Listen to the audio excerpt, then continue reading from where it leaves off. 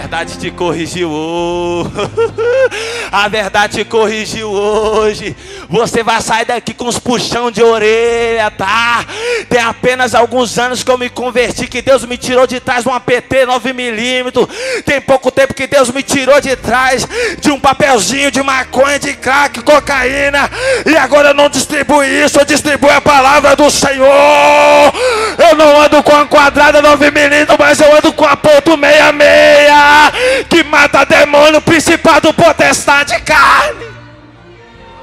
Vai ser para quem ficar mais grande vai ser para aquele que vai subir e assentar à direita do Senhor. Como assim, pregador? Vai ser terrível para aquele que anda na fofoca, vai ser terrível para aquele que anda no fornicação, vai ser terrível para aquele que anda maldizendo o seu próximo. Agora vai ser glorioso para aquele que guardou a sua vida em santidade aqui na terra.